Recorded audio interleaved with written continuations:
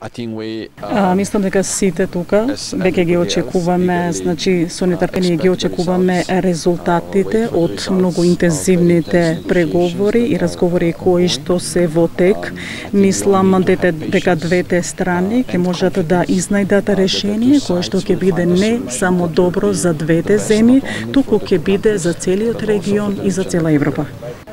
и се разбира за тоа да се случи, сите ние мора да имаме трпение и доверба дека тоа ќе се случи.